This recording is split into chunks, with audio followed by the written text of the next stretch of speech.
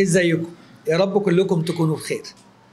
أصدقائي وأصحابي وإخواتي من شباب المحامين اتعودت معاكم في سلسلة الموضوعات القانونية اللي بيقدمها موقع نقابة المحامين إن كل مرة بنتكلم عن موضوع جديد من الموضوعات المهمة اللي بتهم الشباب من المشتغلين حديثا بمهنة المحاماة. النهارده هتكلم معاكم عن موضوع لطيف وموضوع مهم. هو إزاي تقرأ ملف القضية؟ إزاي تذاكر القضية؟ وهل يختلف الوضع لو أنت بتذاكر جناية عن لو انت بتذاكر جنحة عن لو انت بتذاكر قضية مدنية عن لو انت بتذاكر قضية شرعية أيوه يختلف. خد بالك انت وانت بتذاكر موضوع قضية انت مرتبط بالمراجع والكتب القانونية الخاصة بالموضوع اللي انت بتشتغل عليه موضوع القضية. بمعنى بمعنى إيه؟ لو أنا مثلا بشتغل دلوقتي في قضية طلاق هرجع لمجموعة الأحكام الشرعية وهرجع لأحكام محكمة الاستئناف وصيغ الدعاوى الخاصة بموضوع الدعوة وليكن على سبيل المثال أنا عندي دعوة طلاق للضرر. كيفية صياغة هذه الدعوة؟ وأنا بدور وببحث وبذاكر في القضية وفي الأسباب المعروضة من الزوجة مثلا لو أنا عن الزوجة في طرح الضرر هلجأ للكتب والمراجع اللي بتتكلم عن حكمة الطلاق وأسبابه ومتى يجوز ومتى يكون الطلاق واجب ومتى يكون الطلاق مباح ومتى يكون الطلاق؟ آه، حلال. ومتى يكون الطلاق؟ حرام. لازم. لازم أدرس كل الجوانب الشرعية والقانونية المتعلقة بالموضوع عشان لما أكتب عريضه دعوه أو مذكرة أكون شارح لكل الأبعاد المتعلقة بسبب الطلاق وحقيقة الضرر وصوره والأثر النفسي والأثر المادي على الزوجة المضرورة. وده يختلف تماما عن لو أنا بشتغل في جناية قتل وأنا بدور في أحكام محكمة النقض في جناية القتل عن الدفاع الشرعي وتوافر أسبابه.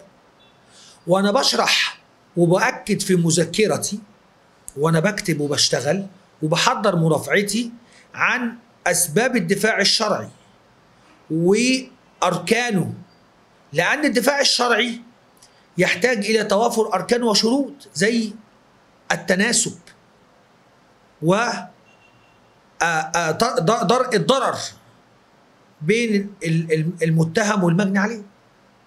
يعني اللي عايزين نقوله في الجانب ده إن أنا وإحنا بتقرأ القضية في الجانب الجنائي أنت بتقرأ كل تفصيلة من تفصيلات القضية عشان تحدد التكييف القانوني المناسب للواقع.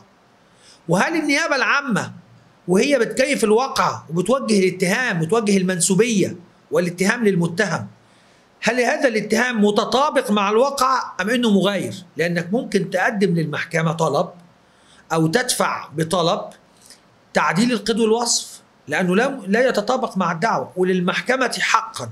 الحق وفقا لنص المادة 308 من قانون الاجراءات الجنائية إنها تعدل القيد والوصف بناء على طلبك وفقا لما هو يتناسب ويتماشى مع حقيقة الواقع. فنلاقي متهم النيابه العامه منزلاه بتهمة القتل العمد.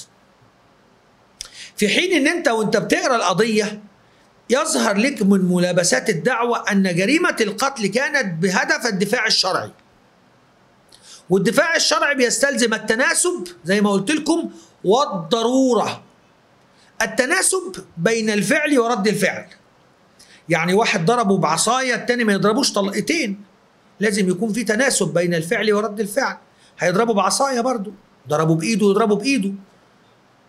والضرورة والمقصود بالضرورة هو متى أو ماذا أو كيف يحتاج المجني عليه من من قوة ليدرأ ويدفع الخطر. أنت محتاج قد إيه؟ قوة تتناسب مع الضرر والخطر الموجه ليك عشان تدفع هذا الخطر عنك. يبقى الضرورة والتناسب. فوانت وأنت بتحدد مرافعتك وبتتكلم بتظهر للمحكمة من خلال قرايتك إن موضوع القضية هنا مش جناية قتل عمد كما كيفتها النيابة العامة.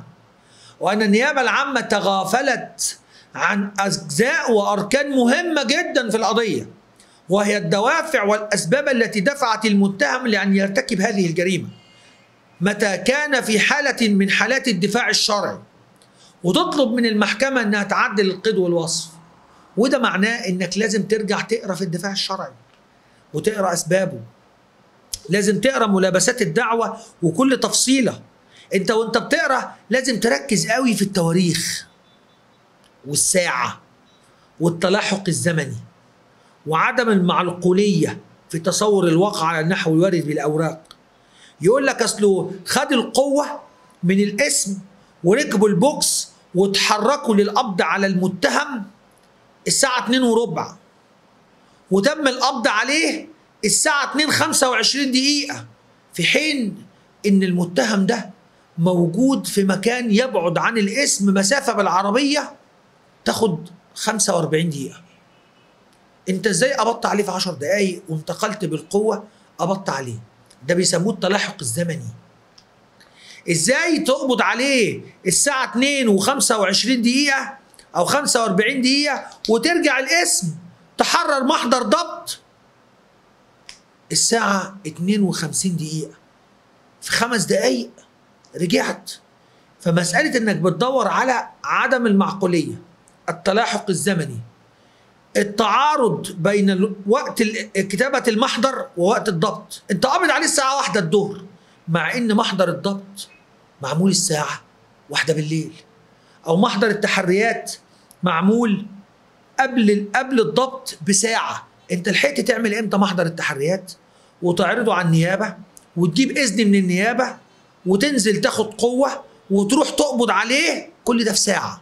عملته إزاي؟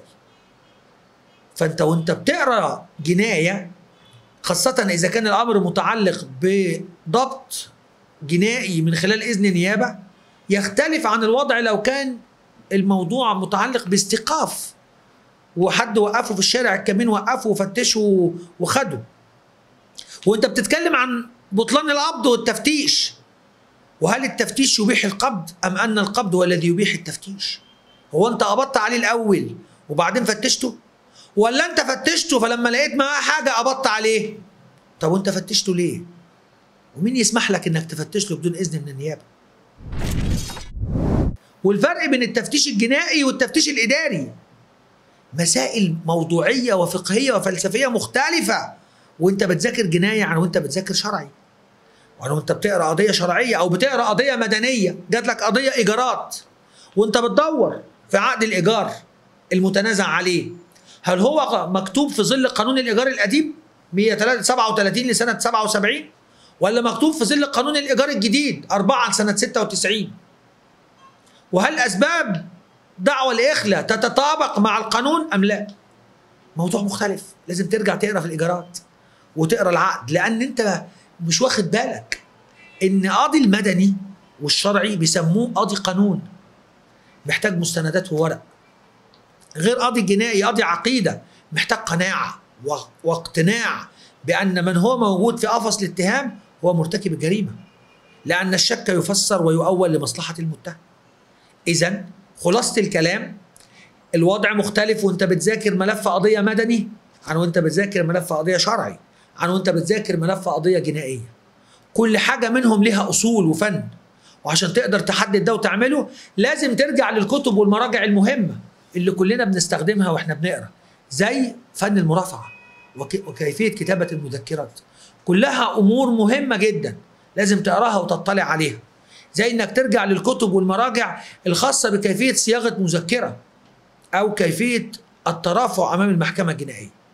أرجوكم الفرق كبير وجوهري ومحتاج فنيات ومحتاج قراءة واطلاع لكل شباب المحامين. لازم تقرأ كفاية مش بس في الموضوع اللي أنت بتشتغل فيه ولا القضية اللي بتذاكرها إنما في كل الموضوعات المعروضة عليك عشان تقدر تقدم معلومة قانونية وتقدم مرافعة محترمة تليق بيك. وتجعل لك اسم في أوساط المحامين بشكركم وإن شاء الله نتقابل في حلقة جديدة. أحمد مهران.